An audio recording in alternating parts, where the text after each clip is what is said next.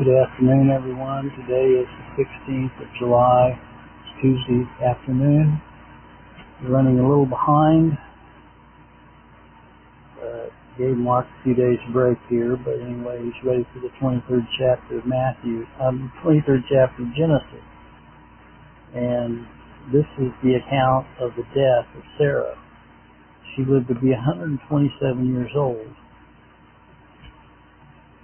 So that means that in all probability Isaac was about 28 years old when she died because she was about 99 when she had Isaac. And Abraham bought a place to bury her and at Machpelah and he buried her in a cave there and um, field of Ish, Ephron was in Machpelah. And uh, so that's where he buried Sarah, his wife, in the cave of the field of Machpelah before Mamre, in the land of Canaan. So I'll have Mark read this to you regarding the death of Sarah, Abraham's wife.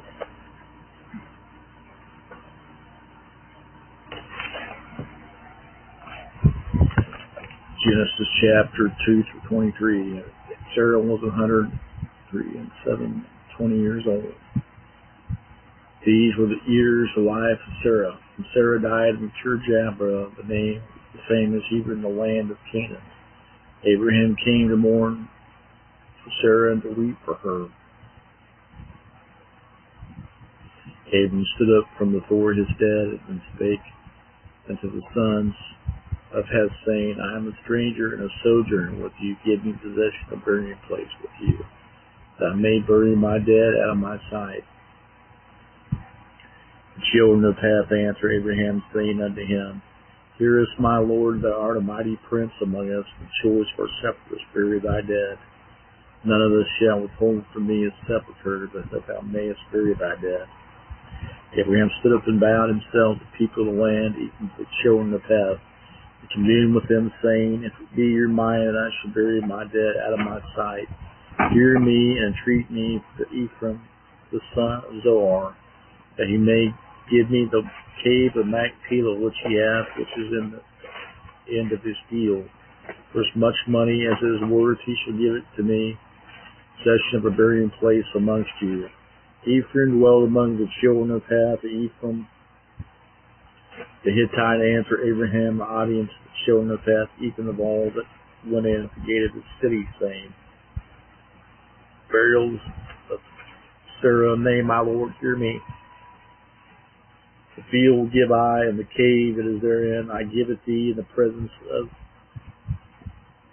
the sons of my people give I it thee, bury thy dead. Abraham bowed himself before the people of the land. He spake unto Ephron, the audience of the people of the land, saying, If thou wilt give it, I pray thee, hear me. I will give thee money for the field. Take it of me, and I will bury my dead there. Ephron answered Abraham, saying unto him, My Lord, hearken unto me. The land is worth four hundred stakes of silver. What is that which me and thee? Bury therefore thy dead. Abraham hearkened to Ephron. Abraham weighed to Ephron the silver, which he had named the audience of the sons of Heth, four hundred shekels of silver, current money with the merchant. And the field of Ephron, which is in Machpelah, before man to the field, and the cave was with therein all the trees that were in the field, and all the borders round about were made sure. And Abraham for possession the presence of the children of Heth before all that went in at the gate of the city. After this Abraham buried Sarah his wife in the cave of the field of Machpelah before Mamre, the same as Hebron in the land of Canaan, the field and the cave that is therein, were made sure unto Abraham possession of the burying place by the sons of Heth. Okay.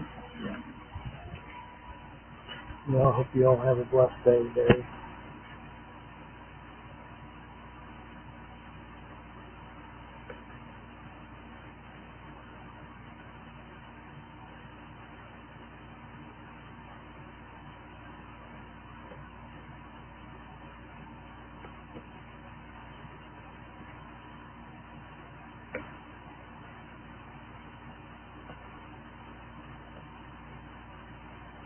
Very few people live to be 127 today.